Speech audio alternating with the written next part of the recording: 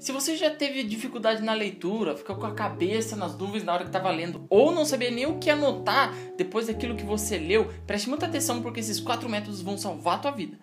E aí, aqui é o Eli e esse é o último vídeo da playlist que eu tô fazendo sobre um mini curso que eu tô fazendo sobre anotações aqui no canal e nele a gente vai falar sobre quais foram as variáveis fundamentais que a gente falou nos outros vídeos anteriores eu vou te falar qual que é a técnica do código Morse. Eu vou também te falar uma técnica muito boa que salvou minha vida na universidade, que é a técnica NTP, que é para você transformar assim, a tua leitura de textos, livros apostilas de uma maneira muito mais eficaz e muito mais eficiente. E também eu vou te falar sobre dois métodos que podem te ajudar quando você está estudando assuntos muito complexos que são, sabe, mega caóticos, é até difícil meio de tomar nota. Então, aperta o teu cinto aí e vamos lá.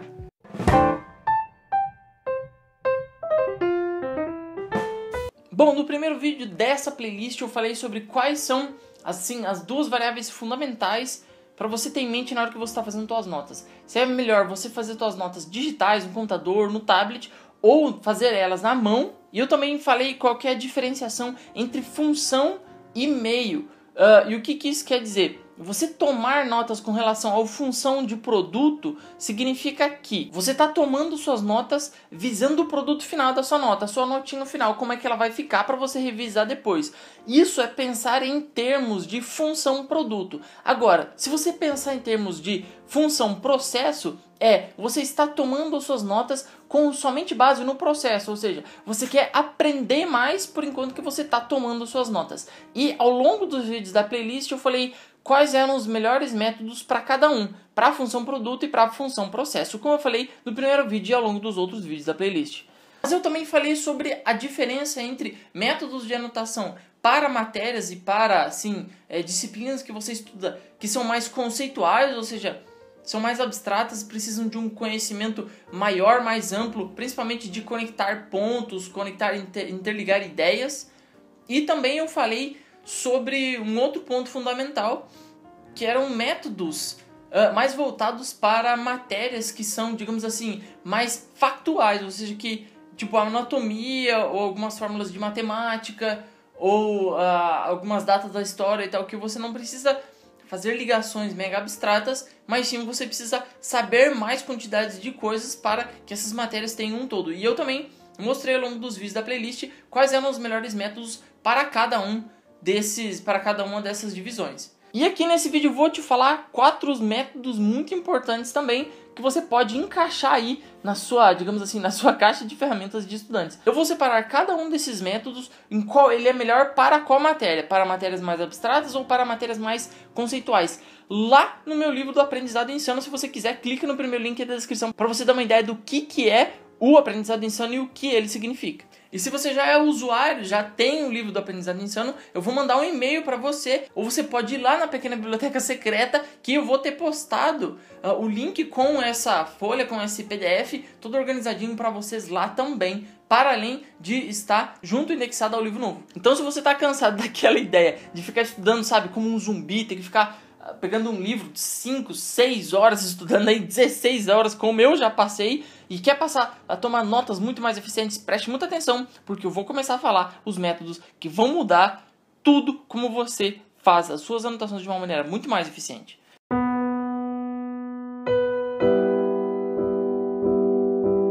O primeiro é o método do código Morse, você pode usar tanto ele para fazer anotações em livros, e eu gosto muito de fazer anotações em livros e PDFs. Como você pode estar vendo aqui no cantinho, o método código Morse é muito simples, mas muito eficaz. O que você vai fazer simplesmente é o seguinte: quando você encontra uma ideia principal sobre o artigo ou o capítulo que você está lendo, você marca onde aquela ideia está com um ponto e depois todos os exemplos, pesquisas e argumentos que dão suporte a essa ideia principal que você acha que sejam importantes, você marca simplesmente com um tracinho. Então, o método código Morse somente se divide em duas etapas. Primeiro, você identificar a ideia principal e segundo, você identificar os argumentos, exemplos, dados, etc., que comprovam o argumento principal. Isso é muito bom para se você está estudando economia, direito, qualquer matéria que envolva argumentação que você precise provar alguma coisa ou que você precise provar algum ponto. Principalmente matérias de ciência, etc., eles cobram muito, por exemplo,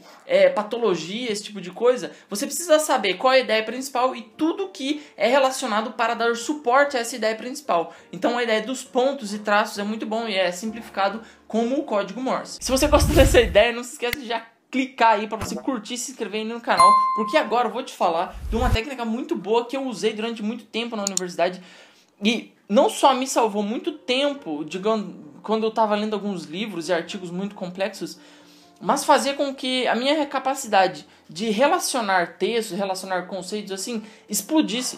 Uh, eu já eu tive muitos professores perguntando como é que eu fazia aquilo, porque hum, é realmente um negócio que assim que explode a tua capacidade de abstração, tua capacidade de relacionar textos e conceitos diferentes. E ela é o seguinte: é uma técnica que eu chamei de Note-Taking Profile, é, digamos assim, método de anotação por perfil. E o que, que significa isso? Significa que eu acho melhor eu te explicar mostrando é, como é que, é que eu fazia. E como ela funciona? Ela funciona da seguinte maneira. Antes de você ir ler alguma coisa, um texto, um artigo, etc., é, um, um pré-requisito para essa técnica é que você já conheça minimamente aquilo que você vai estudar ou aquilo que você vai ler. Que não seja a primeira vez que você está vendo aquela matéria, ou pelo menos que não seja a primeira vez que você vai abrir um texto daquele nicho, digamos assim, daquela, daquela especialização daquela disciplina. A segunda coisa vai ser vai ser você eleger os pontos principais daquilo que você está estudando. Por exemplo, se você está estudando uma, um artigo científico de, de qualquer matéria que você tem que provar pontos, um bom método, um bom perfil, digamos assim, para você eleger antes de você começar a fazer suas anotações são você saber, primeiro, quais são as perguntas que o autor do texto se fez, segundo, quais são as evidências que ele tirou e terceiro, qual é a conclusão. Então, quando você lê o texto, você vai simplesmente procurar somente esses três níveis assim para você tomar suas anotações. E quando você vai fazer suas anotações, você simplesmente olha, você simplesmente coloca lá no seu bloco de anotações ou você coloca no seu caderno uh, a primeira parte, perguntas, a segunda a evidência e a terceira a conclusão. Pode ter ficado um pouco abstrato, mas eu vou te mostrar exatamente como eu faço isso nessa nota que está aparecendo aqui. Como você pode ver aí, eu expandi um pouco mais com relação só a pergunta, evidência e conclusão. Essas notas eu coloquei definição, exemplos, lados positivos ou negativos e se esse método de anotação é mais uh, e se esse método de estudos é mais é, levado a conceitos ou se ele é mais abstrato. Só para você ver que esse é um modo que você usa para que você tenha, digamos assim, um guia antes mesmo de você fazer a leitura. E se você vai ler mais de um livro, mais de um artigo, você usa o mesmo guia. Porque quando você vai fazer suas notas, tomar seus resumos, fica muito mais fácil para você comparar os textos depois e isso assim te ajuda demais. Eu vou te mostrar um outro exemplo que eu fiz com o um mapa mental, tá aqui a foto que eu estou te mostrando. E aí Pode parecer que é muita coisa, é muito, é muito ramo, mas assim, eu tinha uma matéria na, na universidade que a gente tinha que ler mais ou menos uns 200, umas 200 páginas por aula de artigos de política externa. E assim, era muita coisa e era muito abstrato. Um, um autor falava de uma coisa, outro autor falava de outra, outro dava um argumento assim, outro dava assado. Era um negócio assim, mega absurdo, era muita coisa. E eu desenvolvi esse perfil aí de anotação para que sempre quando eu abrisse um, um artigo científico para ler sobre essa matéria, eu sabia exatamente o que eu estava procurando. E aí eu usava o sistema de anotação do código Morse e quando eu precisava fazer as minhas anotações, eu simplesmente abria esse perfil aí e preenchia é, para cada um dos para cada um dos artigos eu fazia um e depois ficava muito mais fácil para eu comparar entre eles e para eu ter uma imagem muito mais clara sobre o que eles estavam falando. Então, Cabe a você simplesmente saber, digamos assim, o que você está procurando e quais são as partes mais importantes do perfil de anotação que você quer fazer. Agora deixa eu te falar uma coisa. Eu já tive matérias que são muito complexas e assim caóticas demais para você conseguir usar algum perfil, código Morse, etc. Eu vou te passar duas técnicas agora para você assim matar de letra esse tipo de matéria. Before you came. Não esquece que eu deixei aí no primeiro link da descrição um aprendizado insano, que são cinco estratégias para você aprender qualquer coisa muito mais rápido. E lá eu vou deixar a separação dos métodos, de todos os métodos que eu falei aqui na playlist, mais algum, algum compilado de métodos avançados que eu vou ir atualizando o pessoal aí, vou colocando mais uh, métodos mais avançados de anotação, tudo lá no livrinho, beleza? O primeiro é o método do teste dinâmico e ele é tão importante, tão bom que eu fiz um vídeo inteiro separado, você pode estar tá vendo aqui. Você pode também clicar aqui em cima, vai estar tá aparecendo um card para você. Uh, eu fiz um vídeo inteiro falando so, só sobre como usar o método do teste dinâmico. E o método do teste dinâmico é muito bom se você está assim com essas matérias que são mega complexas, é muito confusa, tem muita opinião divergente sobre o mesmo assunto, ou você precisa é, memorizar uma grande quantidade de dados ou datas de livros e materiais diferentes. Isso aí é muito bom, organiza tudo para você se testar de uma maneira cientificamente comprovada.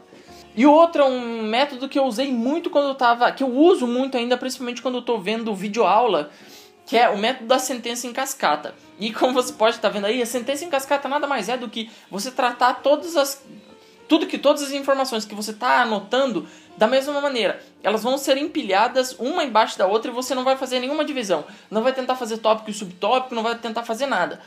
A única coisa que você tá, digamos assim, você é um. Você tá coletando dados, digamos assim. E esse método da sentença cascata é muito bom porque você não perde muita coisa se você tá fazendo suas anotações, porque você não tá se preocupando em organizar elas. Se você quer organizar elas depois, você pode usar um método tópico e subtópico que eu falei num outro vídeo que eu vou recomendar aqui em cima para você, que é um outro vídeo dessa playlist. Mas o método sentença em cascata é onde você usa por enquanto que a aula ou o livro ou alguma coisa que você está lendo, alguma coisa está rodando, sabe?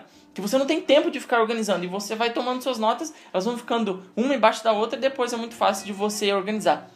Se você tiver, obviamente, usando o método digital, por isso que eu falei que às vezes é importante você pensar muito bem se é melhor você usar o digital ou a mão, porque a mão vai ser meio difícil, né? Você fazer as suas sentenças em cascata e depois organizar todas elas. A não ser que você passe tudo a limpo depois, mas eu não recomendo não porque vai te tomar muito tempo. Deixa eu te fazer uma pergunta, você já usou algum dos métodos que eu falei aqui? Ou você usa algum método diferente? Comenta aí nos comentários que eu vou ficar muito feliz com uh, a sua contribuição. Então nesse vídeo a gente falou sobre as quatro variáveis fundamentais que eu já passei aqui para vocês nos outros vídeos da playlist. E se você não sabe quais são essas variáveis fundamentais, você tem que assistir o primeiro vídeo, o segundo, o terceiro, o quarto, até chegar nesse aqui, o último vídeo da playlist. Vou deixar a playlist recomendada aparecendo aqui em cima para você. Eu também te falei do método do código Morse e eu também te falei sobre um ótimo método que eu gosto muito de usar, que é o método da anotação em perfil, né? O, o Note Taking Profile. É muito bom, assim, salvou a minha vida na faculdade e continua salvando, eu uso ele demais. E eu também te falei dois outros métodos, digamos assim, para você usar quando o assunto é muito complexo, é muito abstrato, é muito confuso, que é o método do, dos testes dinâmicos ou também você usar o método das sentenças em cascata. Eu deixei o aprendizado ensino no primeiro link da descrição, ele está com preço promocional, mas ele não vai ficar assim, porque eu vou colocar muito mais conteúdo lá.